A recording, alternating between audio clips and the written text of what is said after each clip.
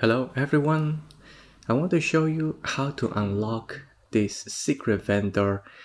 She's located here in Bakbattahl. It is called Brokkr's Smithy and when you first talk to them, nothing happens. It's just one simple dialogue, but nothing else.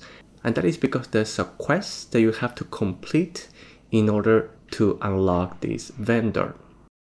Let me tell you why you may want to do this quest to unlock what she has. She sells some of the best weapons and armor in the game. And not just that, but also once she's unlocked, you get a new style of enhancement, which is the Dwarven. All the other three enhancement styles, the Elven, the Battahli, the Vermundian, they all change the top three values. The weight either goes up or down, the strength, and the magic. The Dwarven is the only style, as far as I know, that aside from changing those three values, it also changes the last one, the knockdown power or the knockdown resist, depending whether it's a weapon or an armor. If it's an armor, it's resist, and if it's a weapon, is power. And to me, I think it's probably one of the best ones to upgrade your weapons and armor, depending on your vocation. So with that being said, let's talk about how to complete this quest. You start first in Vernworth. You want to go to the noble quarters where the castle is. And then you're looking for this NPC. His name is Roman. He's a soldier and you usually find him just roaming around in the gardens in that area. You're going to talk to him.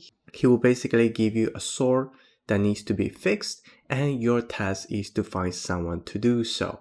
The best way is probably just grab this quest because it doesn't have a timer before you progress too far into the main story so that you don't have to go back and forth. But if you're already late in the game, that's fine too. Just travel back, Oxcart, Ferrystone, it's all good.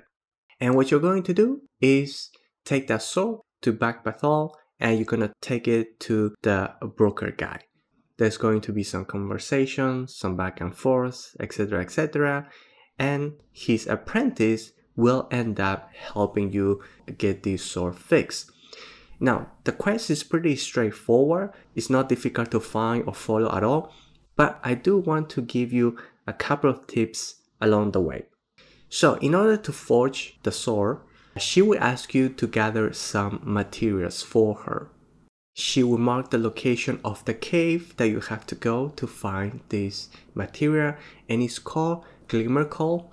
You have to find 15 of those. Even though in the giving screen it will allow you to add 25, you actually don't need 25, you just need to be 15 and you should be able to find 15 in one run inside that cave. You only grab those ones that are glowing. So you have to turn off your lantern to see the ones that are glowing, get those, and leave the ones that are not glowing. If you pick up the ones that are not glowing, it's not gonna serve you any purpose other than add weight to you. And as far as I can tell, they have no use whatsoever in the game. So make sure that you only grab those that are glowing. I was able to grab 17 in one run. And when you go back, make sure you give her either 15, 20, or 25. If you throw in something like a 17, an odd number in there, the menu won't allow you to deliver. So just keep that in mind. Once you deliver all of that stuff, she will go back and work on the sword. Now, on the next time that you visit her, she will be gone to the forge in the volcanic island. And now you have to go and check on her, make sure that she is safe. Tip number two when you reach there to the volcanic island, it will be marked on your map and it's also pretty simple to find. Uh, you should not be able to miss the actual cave. Go in, there's going to be enemies, fight them off, a couple of chests here and there. However, there is one chest that you do not want to miss. Halfway through in the cave, uh, pay attention that there's going to be a right turn that leads you to the outside and there's going to be a platform that you can see down and there's going to be a chest there. You want to jump down, grab that chest. It will give you the Cinderspine, one of the best weapons in the game.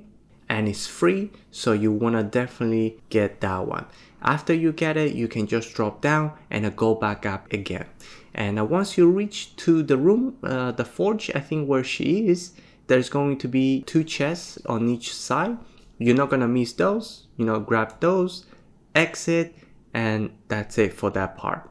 The next time when you see her she will have now the sword ready and fixed.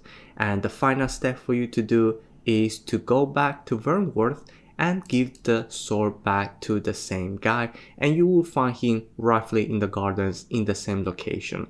And that will now complete conclude the entire quest and next time when you go back to Bakbattahl and you see her she will be the full-fledged blacksmith in that location and you will be able to see everything that she sells and in my case, there was also a 10% discount.